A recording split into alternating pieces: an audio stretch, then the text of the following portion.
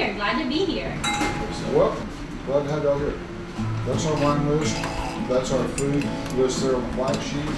Like opening a beer, you know? Yeah. Sorry.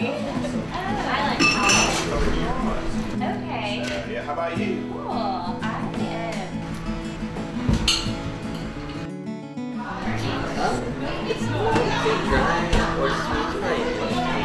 Austin was more my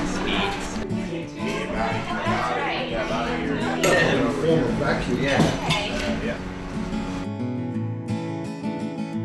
There's no stronger wind than the one that blows down a lonesome railroad line. My partner Kerry White approached me and said that she had this idea to open a wine bar.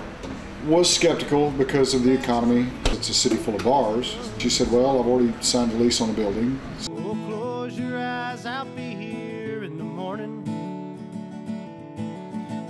You know, I just I like how this place is like almost like community oriented. It brings the community together for over art or music or wine. The art concept arose from Nick, Kerry's son behind me here is an artist, and they had talked about having an art studio, a place where artists could work, but also have a gallery to display. And we feature all local artists. I have a couple pictures of palm trees that I took in the other room.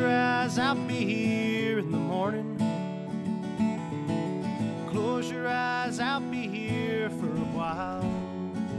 Um, that was a real collaborative effort between myself and Kerry. Some, I'm an old country boy and I'm a carnivore, you know, so we were going to need some smoked salmon on there. I like that it's a positive space in the community and we're really open to letting people use the space in a positive way. The whole thing's been sort of an organic progression of events, and uh, we've been open three and a half years now. Close your eyes, I'll be here for a while.